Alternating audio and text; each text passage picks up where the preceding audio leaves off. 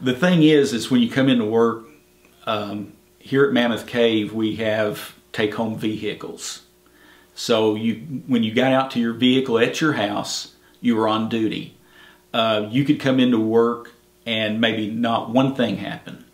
You might have maybe one verbal warning, or you might be drawing your gun and taking somebody down at gunpoint. You never knew. So when you came in, you had to have the mindset, is this the day?